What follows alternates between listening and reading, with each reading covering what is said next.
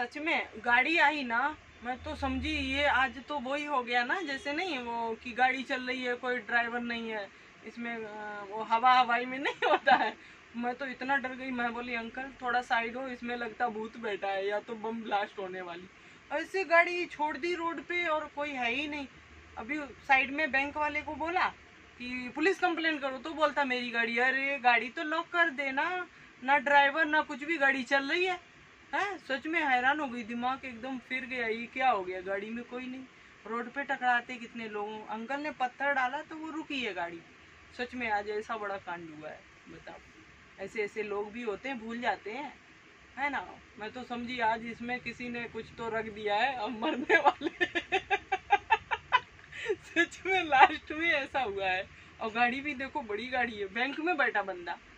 मैं डर गई कि अपनी दुकान के सामने अंकल ने पत्थर डाल दिया।